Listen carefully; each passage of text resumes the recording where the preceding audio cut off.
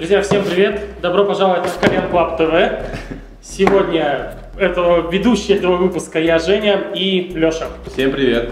Итак, сегодня пойдет речь о, табака, о табаке Сарма, а точнее его пяти новых вкусах.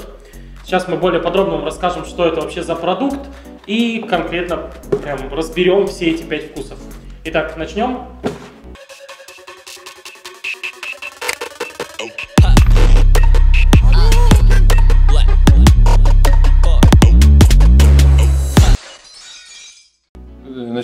Пяти новых вкусов, которые у нас появились. Это компот из морожки, арбузный мармелад, ромашковое варенье, байкал и холодный чай. Вот такие пять новых вкусов у нас вышли.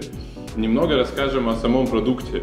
Продукт это средней крепости. Мы очень любим называть его комфортной крепостью, потому что крепость, которая подходит практически для всех. Те, кто курят давно, те, кто курят недавно.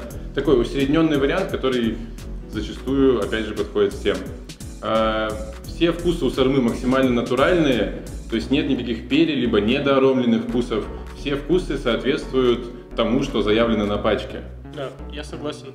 И многие, я бы еще отметил, что вот как пахнет из пачки, так это и будет курица. То есть у многих производителей я замечал такое, что ты, к примеру, нюхаешь одно, то есть осязаешь, потом ты в процессе куришь другое. Ну, то есть вкус сильно видоизменяется. Здесь я скажу, что ну, этого практически нет. Понятно, что он чуть-чуть там, возможно, другой, но попадание практически 100%.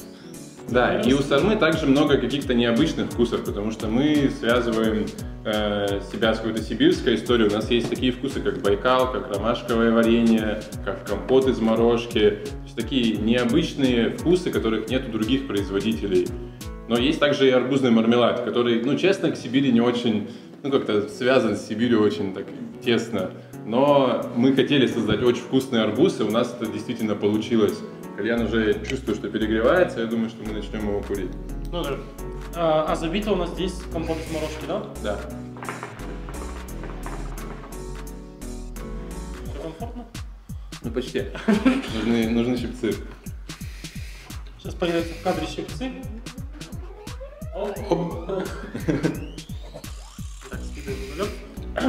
Итак, немного о продукте. Конкретно здесь у нас 60% Вирджинии и 40 Берли, что и дает нам эту комфортную среднюю крепость. А, конкретно, к примеру, я сейчас взял себе в руки холодный чай. Мы уже их все прокурили, собственно. И холодный чай, это реально, это очень прикольно. Вот у всех сразу же, наверное, первая мысль холодный, значит, он будет там сильно свежий, как многие представляют себе, какой-то микс вот, с добавлением большого излишнего вот, суперновый. Здесь эта история не та. Это именно прохладный чаек, ну, как, к примеру, я не знаю, вот Леша ходил в поход, и он себе... Давай я, наверное, скажу. Давай, давай. А, я когда ходил в поход, вот для меня какой вкус стал достаточно отчетливый.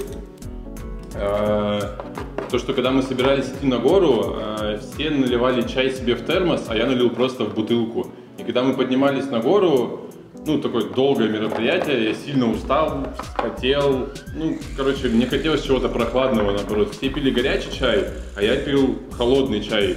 И сильно могу с этим вкусом себя ассоциировать, э, вот именно тот момент, потому что он такой немного цитрусовый, чайный, свежий вкус.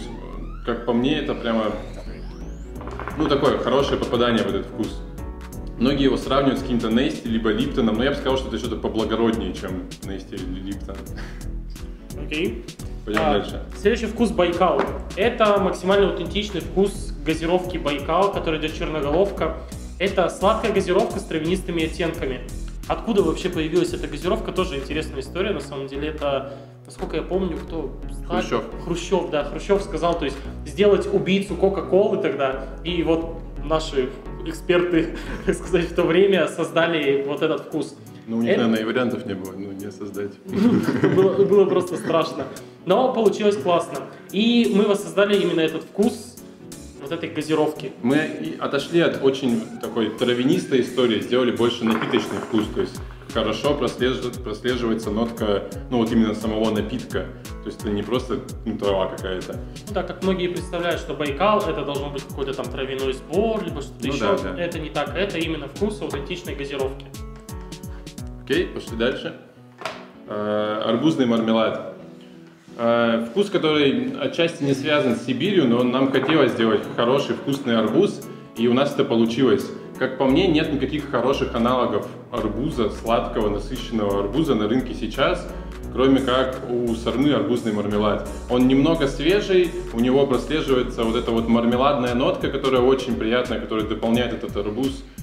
Ну, то есть вот арбуз мне вот этот сильно нравится, хотя вкус абсолютно не мой, ну вот, чтобы я домой взял себе арбуз когда-то там купить э, и покурить, наверное, такого не было до момента того, как вышел арбузный мармелад из. Ну да, я тоже здесь скажу, что я ненавижу арбуз, вот честно, всей душой, потому что я его перепилил в свое время, это были самые базовые миксы арбуз, дыня, мята, это было просто что-то, ну, отвратительное, так сказать. Здесь, да, как отметил Леша, что есть, э, присутствует эта сладость мармеладная. Mm-hmm. И это вот именно вот эти те дольки, которые были в сахаре. И я помню, когда я в детстве их кушал, я всегда обсасывал вот этот сахар сначала, а потом кушал вот эту вкусную мармеладку. И здесь именно это и есть, и это круто. Реально по-настоящему круто, это чуть-чуть свежо, не перенасыщенно сладко, и это круто. Далее. Пойдем дальше, у нас, наверное, будет компот из морожки. Да, компот из морожки, который мы сейчас и курим, это свежий вкус, свежий вкус такого прохладного компота. Мало кто вообще пробовал морожку и знает, что это такое, как она вообще выглядит. Вообще, Но, это... На мой взгляд, морожка сама по себе, ну вот как ягода, прямо, ну, очень сомнительная. Она невкусная, она очень сильно тебя вяжет, ну и... Ну, сложный вкус. Ну, это очень, очень сложный вкус. То есть, ну, к примеру, я провожу аналогию, для меня она более понятна. А, я, у меня, короче, в ограде, я не знаю где, ну, я жил в частном доме, и у меня рос, росло у друзей вот ранетки. То есть была маленькая ранетка, и когда наступали первые морозы, то есть в ноябре, я срывал вот эту ягодку, э, начинал ее раскусывать, кажется, все было холодное, как раз как и есть в этом вкусе. И потом на послевкусие начинал вот этот вяжущий, чуть-чуть кисленький, с такой с оттененным послевкусием сладости, вот этот вкус. И вот у меня именно ассоциация с этим. Я не ел морожку, я не знаю, как она... Ну, я видел, как она выглядит, но я никогда ее не пробовал. Вот, но мне похоже сильно на вот какой-то больше, наверное, компот из ранетки. Вот мне вот это напоминает. Ну, можно еще сравнить, ну, то есть, чтобы так далеко прямо не ходите, какую-то какую ягоду вы достаете из морозилки, с сахаром замешиваете. Ну, допустим, кипяточком чуть-чуть Чуть-чуть кипяточек, и вот она такая холодная, сладкая, э, с таким очень ярким послевкусием ягод. Ну, то есть, вот это очень похожий вкус, на мой взгляд. Ну, только ягода морожка, а не ту, которую вы обычно достаете из морозилки. Ну да, и стоит отметить, что даже сейчас мы курим не прям не сильно вот этот холодный эффект, он такой освежающий, но не освежающий, прям... именно да. освежающий. Нету прямо такого четкого холодка, такой да. просто свежий немного вкус. Ну это вкусно.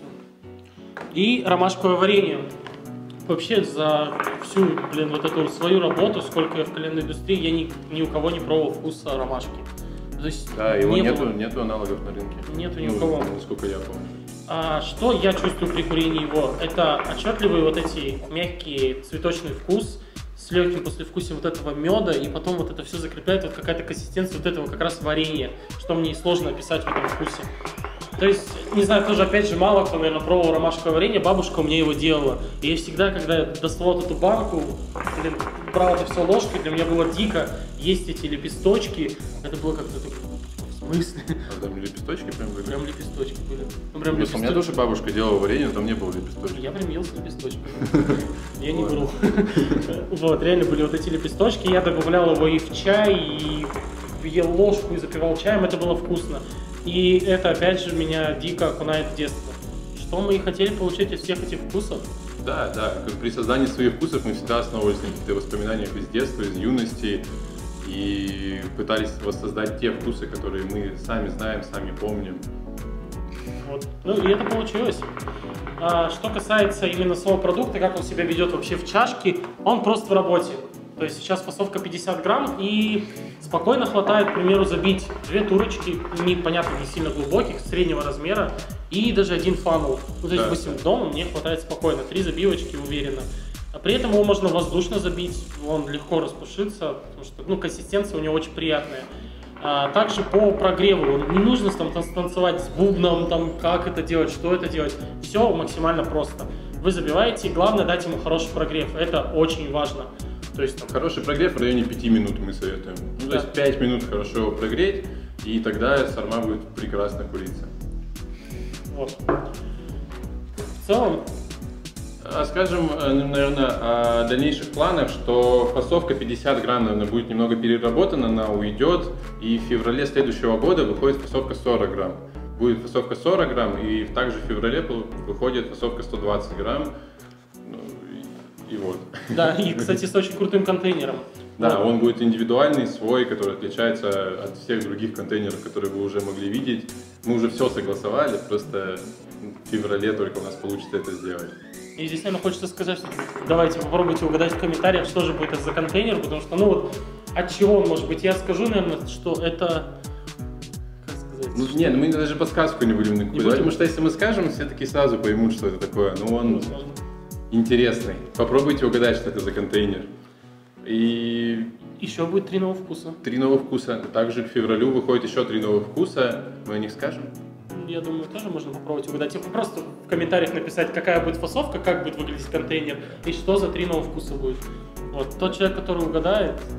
Или будет близко хотя бы ну, к тому контейнеру, который мы придумали, мы подарим три новых вкуса или пять новых вкусов. Давай три, давай три. Вот мы подарим ромашку, мы подарим Байкал и компот из морожки. Вот как раз таки три самых необычных вкуса. Три самых необычных вкуса мы подарим тому человеку, который выполнит эти все условия, которые мы перечислили уже.